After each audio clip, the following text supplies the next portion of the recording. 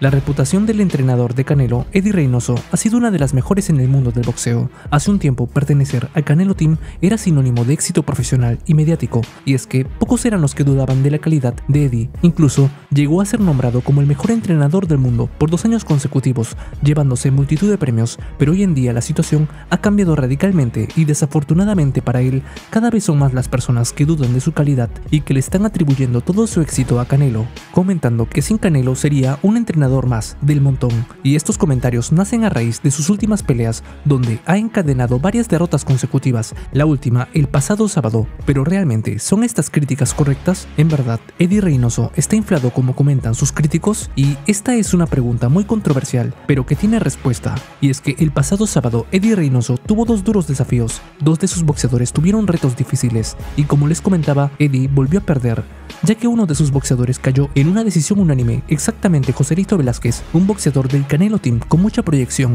que tenía hasta ese momento un récord invicto, y cayó ante el nicaragüense Christopher Rosales, un boxeador con muchísima experiencia, que si bien tenía seis derrotas, fueron contra boxeadores de gran nivel, como Rey Martínez, y a pesar de que Joselito Velázquez hizo caso a las instrucciones de Eddie y adoptó parcialmente el estilo de boxeo que le inculca a Eddie a sus boxeadores, fue superado por el nicaragüense de forma contundente. Si bien había una gran diferencia física, ya que el nicaragüense se veía muy grande en comparación a Velázquez, esto no es una excusa, ya que dio perfectamente el peso, y rehidratar bien es un proceso que te puede salir bien o te puede salir mal. Y creo que la razón principal de la victoria del nicaragüense Rosales fue el volumen de golpes, ya que en varias ocasiones Rosales conectaba buenas combinaciones y Joselito Velázquez se quedaba sin respuesta, quitándose algunos golpes, pero no respondiendo, algo similar a lo que sucedió entre Canelo y Bivol, y creo que precisamente el problema viene ahí. El estilo de Canelo no se acomoda bien contra boxeadores con mucho volumen de golpes, pero esto no ocurrió en la otra pelea que tuvo Eddie, y es que en esa cartelera también peleó Rey Martínez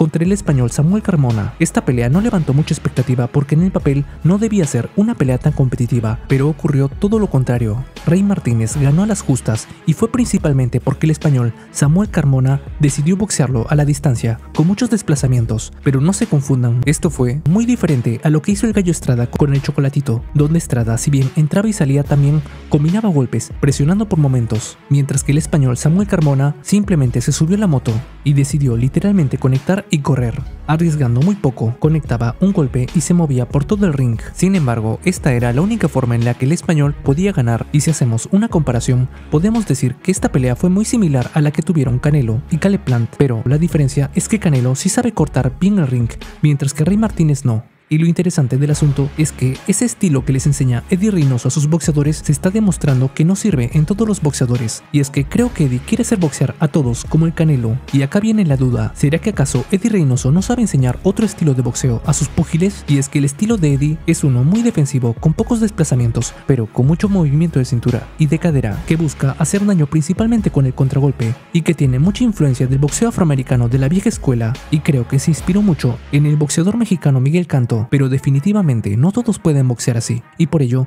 muchos han empezado a comentar que el estilo de Di Reynoso ya fue descifrado, incluso algunos comentan que es un entrenador inflado y que tiene muchas limitaciones, ya que al parecer no puede enseñarle más estilos de boxeo a sus púgiles, pero creo que esa es una conclusión muy apresurada, ya que aún no podemos juzgar a Eddie como un mal entrenador, y es que la carrera de un entrenador dura muchos años, si bien él en su corta carrera lo ha ganado casi todo, no hay que hacernos los ciegos, y es más que evidente que esto fue principalmente por los logros de Canelo, pero no se confundan, esto no quiere decir que Eddie sea malo, sino que ha hecho un muy buen trabajo con Canelo, pero aún tiene que demostrarlo con otros boxeadores. Por ello, creo que los que lo señalan como un entrenador inflado están exagerando. Claramente, ningún entrenador es invencible y obviamente Eddie en algún punto volverá a perder y creo que será correcto juzgar a Eddie cuando Canelo se retire y ahí se verá realmente si era un entrenador inflado y solo servía para un boxeador o realmente es un entrenador brillante. Lo que sí es un hecho es que a pesar de su corta ya entró en los libros de historia, pero todavía no está al nivel de Don Nacho Beristain ni de Cuyo Hernández. Sin embargo, aún le queda mucho tiempo para igualarlos o incluso superarlos. Y dime, ¿crees que Eddie Reynoso realmente está haciendo un buen trabajo como entrenador? Deja tu opinión en los comentarios y suscríbete al canal para estar enterado de las últimas noticias del mundo del boxeo. Esto es Finito Box. Hasta la próxima.